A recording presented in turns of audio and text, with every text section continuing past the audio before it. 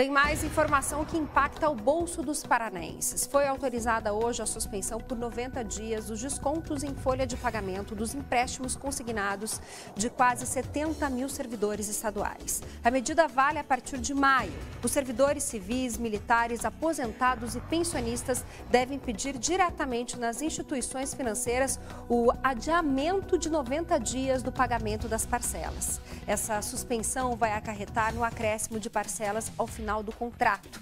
E os encargos financeiros ficam por conta dos servidores.